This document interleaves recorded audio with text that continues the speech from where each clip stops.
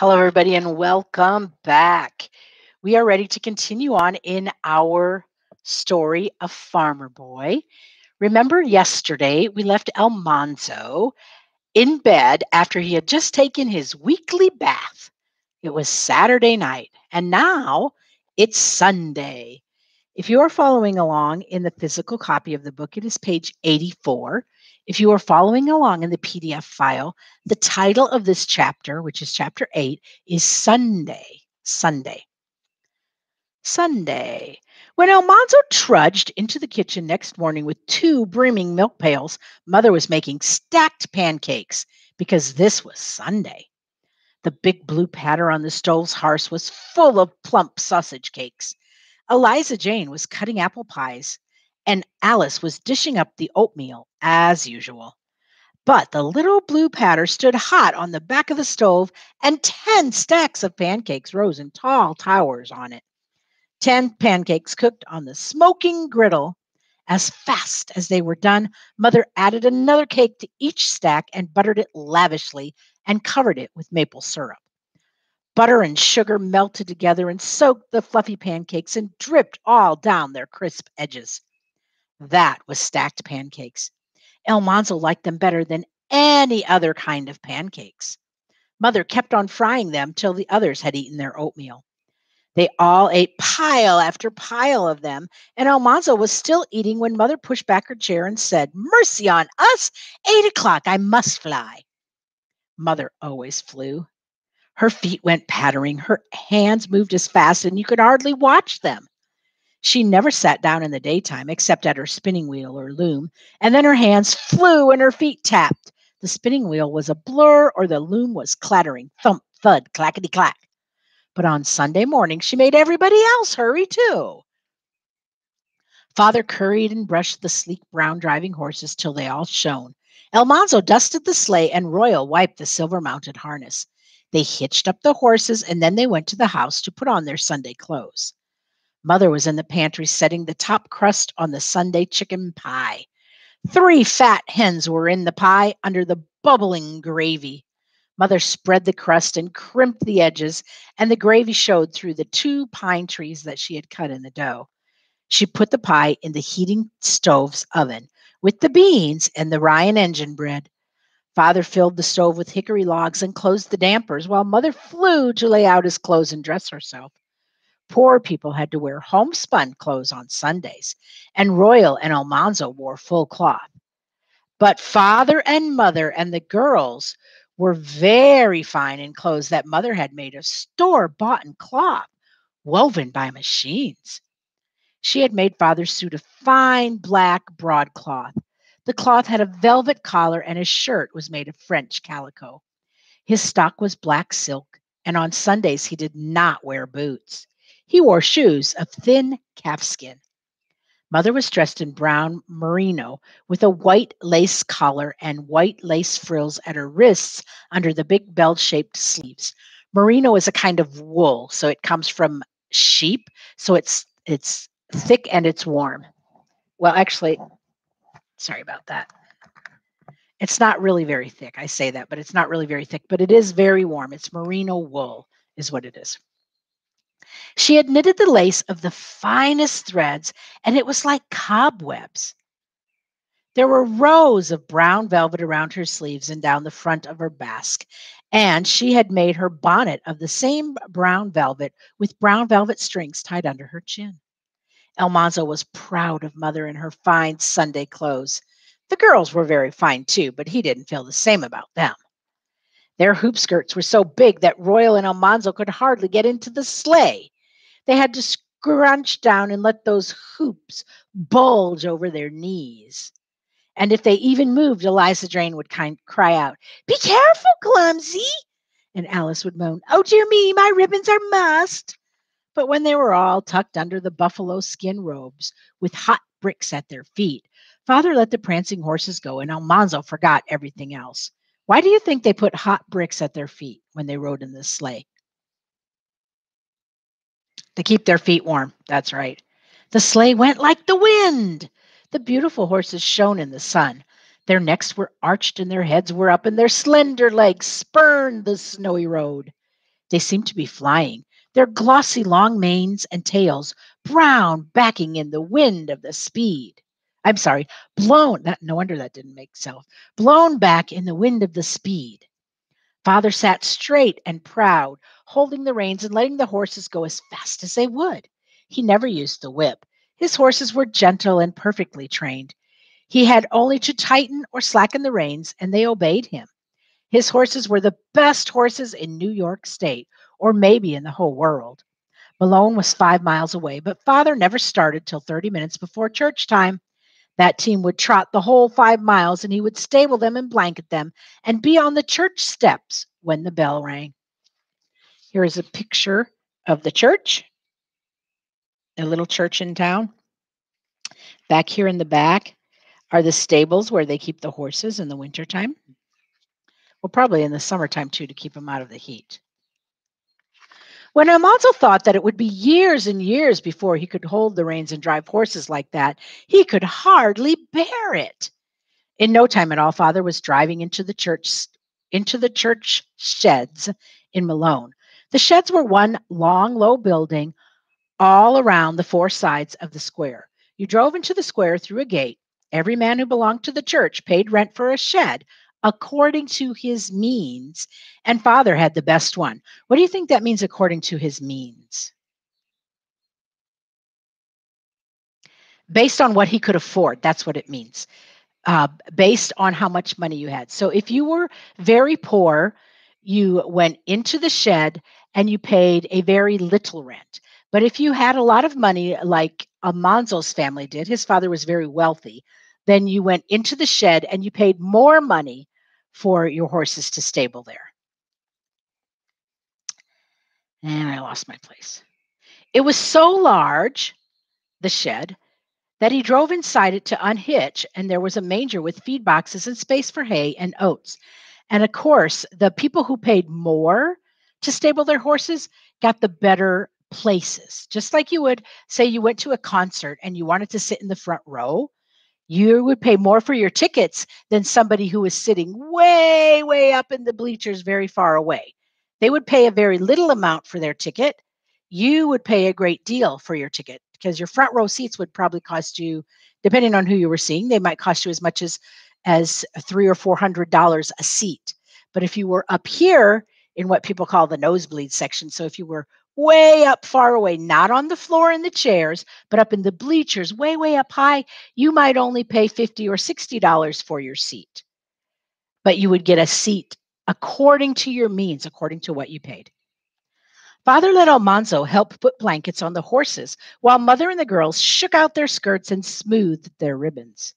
Then they all walked sedately into the church. Sedately means calmly and slowly and with respect. The first clang of the bell rang out when they were on the steps. And after there after that there was nothing to do but sit still till the sermon was over. It was 2 hours long. Almanzo's legs ached and his jaw wanted to yawn, but he dared not yawn or fidget. He must sit perfectly still and never take his eyes from the preacher's solemn face and his wagging beard. Almanzo couldn't understand how father knew that he wasn't looking at the preacher if father was looking at the preacher himself. But father always did know. At last it was over. In the sunshine outside the church, Almanzo felt better. Boys must not run or laugh or talk loudly on Sunday, but they could talk quietly, and Almanzo's cousin Frank was there. Frank's father was Uncle Wesley. He owned the potato starch mill and lived in town. He did not want to have a farm.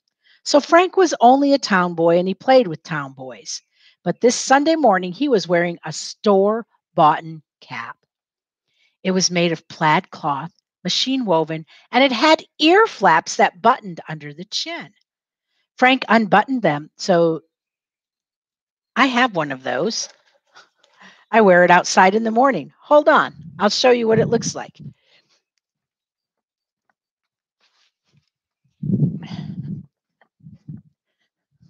It looks like this.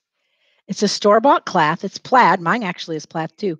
And these ear flaps, they button. I don't know if I can put it on with my headset. They button underneath my chin. I can't very well. They button under here. if I didn't have my headset on. But the cool thing is, they also, where's the button? Oh, well, mine don't do that. Do they? No, mine aren't as cool as as Frank's. Frank's is more cool than mine. Because we're going to find out something neat about Frank's. They button under the chin. But Frank unbuttoned them and showed Almanzo that they would turn up and button across the top of the cap. Oh, you know what? I know what I know. Mine does. Mine does that too. Not as cool as his, probably, but mine. So you can you can bring them up to the top, and you can snap them on top, so that you don't have ear flaps anymore. See how they button up here on the top? That's what he's talking about. Ow, that hurt. He said that the cap came from New York City. His father had brought it in Mr. Case's store. Almanzo had never seen a cap like that, and he wanted one. Royal said it was a silly cap. He said to Frank, What's the sense of ear flaps that button over the top? Nobody has ears on top of his head. So Almanzo knew that Royal wanted a cap like that too. How do you think he knew that? yeah, because Royal says, Oh, that's silly. And he's making reasons why it's so silly. And that tells Almanzo, Oh, he's really jealous. He wants that cap too. How much did it cost? Almanzo asked. 50 cents, Frank said proudly. Almanzo knew that he could not have one. The caps that mother made were snug and warm, and it would be foolish waste of money to buy a cap. Fifty cents was a lot of money. You ought to see our horses, he said to Frank. Huh, they're not your horses, Frank said. They're your father's horses. You haven't got a horse or even a colt. I'm going to have a colt, said Almanzo. When? asked Frank. Just then Eliza Jane called over her shoulder. Come, Almanzo, father's hitching up. He hurried away after Eliza Jane, but Frank called after him low. You are not either going to have a coat. Frank got soberly, Almanzo, I'm sorry, got soberly on the sleigh. He wondered if he would ever be big enough to have anything he wanted. when he was younger, father sometimes let, excuse me, I need some water. When he was younger, father sometimes let him hold the ends of the reins while father drove, but he was not a baby now. He wanted to drive the horses himself. Father allowed him to brush and curry comb and rub down the gentle old workhorses and to drive them on the harrow. But he could not even go into the stalls with the spirited driving horses or the colts. He hardly dared stroke their soft noses through the bars and scratch a little on their foreheads under their forelocks. Father said, You boys keep away from these colts. In five minutes, you can teach them tricks it will take me months to gentle out of them. He felt a little better when he sat down on a good to a good Sunday dinner. Mother sliced the hot rye and engine bread on the bread board by her plate. Father's spoon cut deep into the chicken pie. He scooped out big pieces of thick crust and he turned up their fluffy yellow undersides on the plate. He poured gravy over them. He dipped up big pieces of tender chicken, dark meat, and white meat sliding from the bones. He added a mound of baked beans and topped it with a quivering slice of fat pork. At the edge of the plate, he piled dark red beet pickles. As he handed the plate to El, and he handed the plate to Almanzo. Silently, Almanzo ate it all, and then he ate a piece of pumpkin pie, and he felt very full inside. But he ate a piece of apple pie with cheese. After dinner, Eliza Jane and Alice did the dishes, but father and mother and Royal and Almanzo did nothing at all. The whole afternoon they sat in the drowsy, warm dining room. Mother read the Bible and Eliza Jane read a book and father's head nodded till he woke with a jerk, and then it began to nod again. Royal fingered the wooden chain that he could not whittle, and Alice looked for a long time out of the window. But Almanzo just sat. He had to. He was not allowed to do anything else, for Sunday was not a day for working or playing. It was a day for going to church and for sitting still. Almanzo was glad when it was time to finally do the chores. Okay, we talked about the phrase according to his means. Do you remember what that means? Yes, it means according to how much money you have, based on what you're able to afford. And what does it say about Father that he has the largest shed at the church? He's probably the wealthiest man at their church, or maybe even in the whole town. Why do you think Father's boy, sorry, why do you think Farmer Boy includes so many detailed descriptions of food? Why do you think they do that? Did you notice that? They talk about food all the time. Why do they talk about food all the time? Because it's so very different than what we eat. And they want us to understand that food was a very big part of life back then. You ate to survive. You didn't you didn't just eat because it was time. You ate because that was the only way that you could actually survive. Why are what are Almanzo's thoughts about his cousin's Frank's store-bought cap? What are Almanzo's thoughts about it? Oh yeah, he really wants one, doesn't he? He wants a cap just like this. And what does Royal say? Bye. He says it's silly. Nobody has ears on top of their head. Why would you put the ear flap there? Right? So, based on what Royal says, Almanzo knows that he really wants a cap like that too, doesn't he? Think about the way in which they trap that the Wilders traveled. How did they travel? They traveled by sleigh, by horse sleigh. Mm-hmm. How is that different than the way that we travel today? Exactly. Most of us do not travel by horse and buggy or horse and sleigh unless we're Amish, then I mean you would. But if you're Amish, you wouldn't be watching this video either. I mean, there's that. But that's neither here nor there. Most of us travel by car or by by bus or um, Uber or cab or even by bicycle. We ha- we travel in a different way than they traveled back then. Most of us do not have horses hitched around out back. When I leave for the day, I don't go unhitch my horses and jump on into my horse buggy and ride on home. No, I unlock the door to my car and I get in and I turn it on and I drive home. So we travel very different ways than they did back there. All right, let's go ahead and take some notes. Write your name.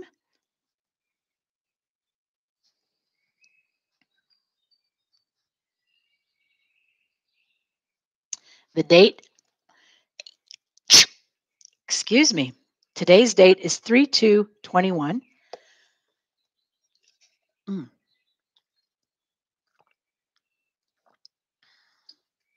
I needed another drink. The lesson is chapter 8.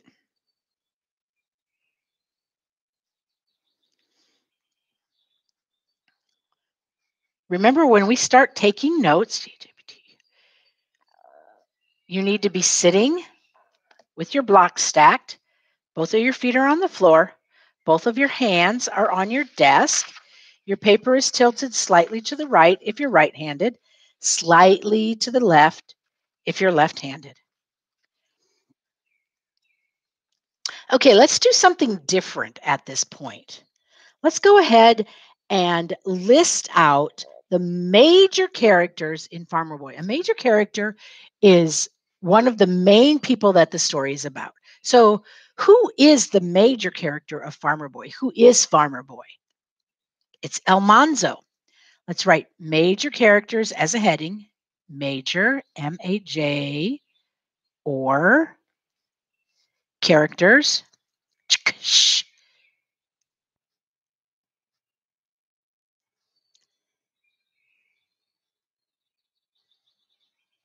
Major characters. Let's go ahead and underline that. Almanzo is a major character for sure. Almanzo.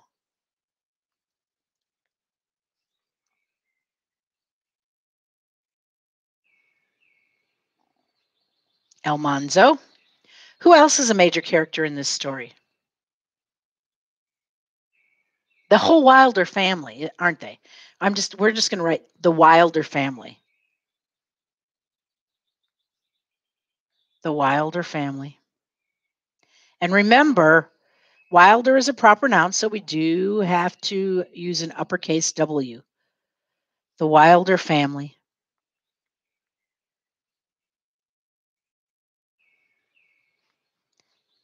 Okay, and there's a lot of minor characters in this story. So that's the next thing we're going to do minor characters. We are not going to list them all, there's far too many to list. so the minor characters, and I'm putting a colon behind mine. Let me show you, show you what I'm doing. That's how I'm putting my headings in there. Major characters, minor characters. Well, let's think about it. Who is one of the minor characters that we read about a few stories back? The teacher, Mr. Corse. He is a minor character in this book. Mr. Corse.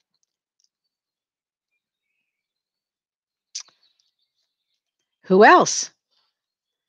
Well, we have the two Frenchmen, Joe and uh, what is his name? French Joe, and what's the other guy's name? hmm. French Joe and something John. Lazy John, that was his name. Lazy John. Let's go ahead and write that down. Lazy, using IE, John. French Joe.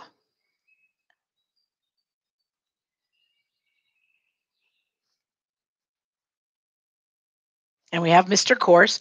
Who else is a mine? wow, I don't know what's going on with my throat today. Who else is a minor character that we just met in our last chapter, in chapter eight? Frank, you got it. Frank is another minor character. Frank. F. Er. A. K.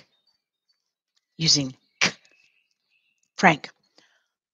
And that's pretty much it for our minor characters, isn't it, so far? I mean, there's a lot like the Hard Scrabble Gang and um, some of the kids at school, and of course, the preacher. Those are all very, very minor characters, but they're that we only are going to write down these four Mr. Corse, Lazy John, French Joe, and Frank. All right, the next thing that we're going to write down is the setting. So far in this chapter, well, actually, the entire book, what is the setting of the book? Remember, the setting is where does the story take place? When and where does the story take place?